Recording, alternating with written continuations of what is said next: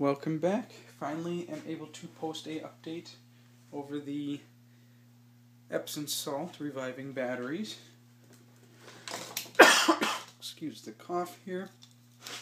I had to shift my little project in from the warehouse into our lunchroom here. Weather took a turn for the worse. It gets a little chilly in there. Now, I actually completed my testing of this battery about uh, four days ago. I just have not been able to do a update video. Now, my findings were a little unexpected and interesting. Um, now, it's been sitting off the charger now for a few days. And it seems, as you already know from my one of my earlier videos, um, it did restore the cranking amps of this battery quite a bit. Now, just because it did restore that, it did take a full charge, but uh, what I found is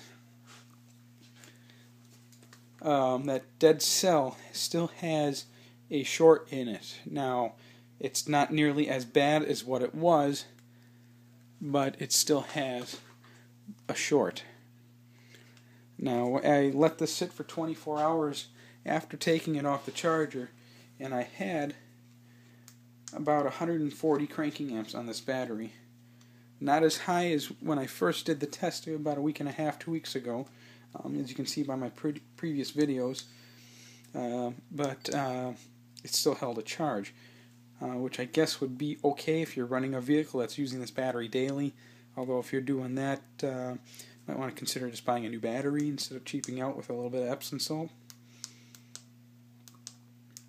Um, but uh, in terms of completely reviving this battery, I'm going to have to chalk this one up as the battery was, excuse me, too badly damaged.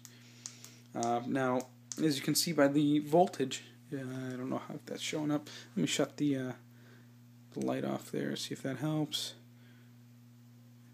There we go. Um, as you can see by the voltage, um, the dead cell is still alive. It's just uh, seems it must still be bridged, or the cell itself is physically damaged, and no longer, uh, after sitting, still puts a short on the battery. Um, I'm going to use this for another project then. as after as after as it takes a full charge, um, it just dissipates itself uh, quicker than a shelf life of a battery uh, charged battery should be.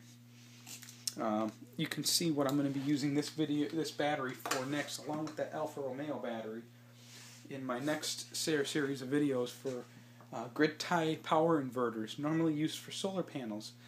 Um, I'm sure you've heard of place shifting in terms of watching television. Well, I'm working on a project called power shifting, uh, which will allow you to use power in the evening or charge batteries in the evening to power your home electronics during the daytime, all seamless without having to, you know, unplug stuff, put stuff into special inverters, so on and so forth. And it can be done relatively cheaply. Um, so, anyways, back to this project. Don't so don't don't forget to check out that series of videos. Um, I'm gonna be filming that one starting with the basic components in just about uh, five ten minutes here. So chalk that one up as a goner.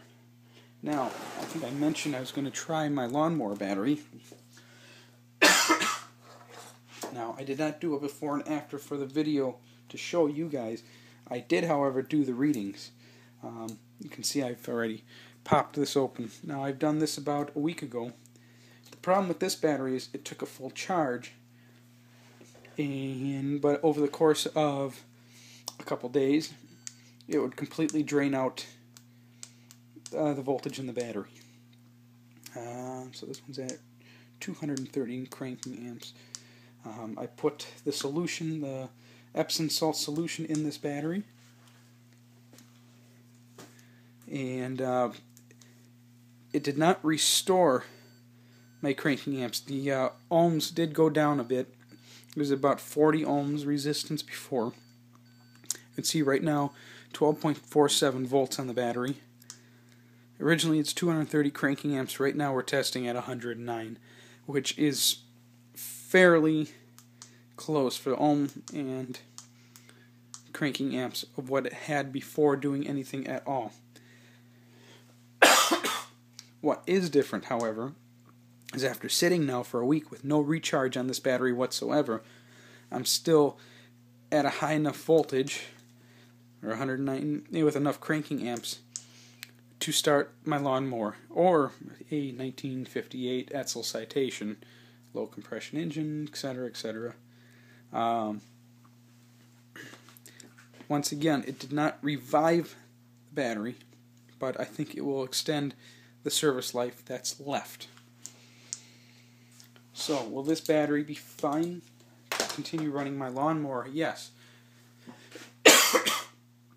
So, in this case, I will no longer have to jump start my riding mower every time I want to cut the lawn every once a, once a week. Uh, so, like I said, this one's been sitting for a week now, and it held enough charge where it will still start my mower. So, in that terms, if I run, if I mow my lawn once a week, um, I'll still have enough juice, and well, don't forget your uh, riding mower will recharge the battery as you're using it. So what it'll gain back while mowing the lawn should put it at enough charge where it'll still be good the next week. Um, I will continue to test the longevity of this trick. Uh, not trick, but uh, yeah, I guess trick to prolong the life of the battery. Um, my conclusion, I guess, because I this is definitely going to be the last part for this video segment, and I know I'm going to regret saying that because I'm probably going to come up with another one. Um, so last segment for now until I find another battery to test, such as uh, a full-size forklift battery or something of the sort. My conclusion will now be that uh, if you catch a battery early enough, um, say uh, well my truck my truck's battery is now seven years old it's a uh, walmart EverStart Maxx um, it still starts the vehicle fine every day. I do know it's getting a little weak. It's rated at uh, 850 cranking amps but i believe and i test it now it's only down to about 675 680ish so i can tell that battery is starting to get weak after seven years or so. So what I'm thinking of doing is, uh, since I got plenty of batteries to play with, I carry generators with me when I drive because I'm always out in the middle of nowhere, always working on some project, doing something.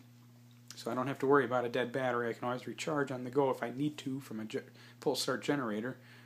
Um, I'm thinking of tossing the Epsom salt in that battery and uh, seeing if doing that will, instead of bringing its life back will prolong its current life. So if it's at about 675, 680 cranking amps, see how long it will continue to go at 675, 680 uh, cranking amps. So if I can make it another year and it doesn't go down, awesome. I just found a way to prolong a battery's life.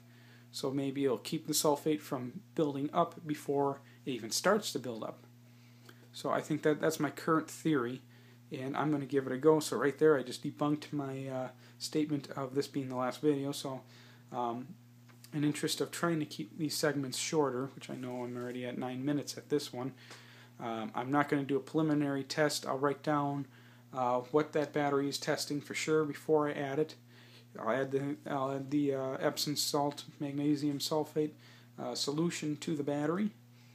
And then uh, I guess I'll leave her go for a month or two. We're getting into winter here, so if the battery is going bad, I'll sure as hell know it. And uh, maybe uh, right now is October. Today's October 18th. I will see maybe what uh, I'll check back on it in uh, November 8, or 18th or 20th, somewhere around there, and then again in December and see what my findings are. So uh, we're going to call that quits for now. Um, if anybody has any questions on, on anything for these videos, don't hesitate to post in the comments section or send me a message through uh, YouTube or even give me a call. I think I've been posting my phone number for my business here. Feel free to give us a call as well. So, um, oh, and one shout out if you guys have a Harbor Freight Tools around, um, the Cen-Tech meter, very handy. Does not need a load, only needs a few volts to actually test the, the battery, see if it's bad or just needs a recharge. uh, you can find it, excuse me, Harbor Freight Tools, item uh, 66892. They're about 60 bucks.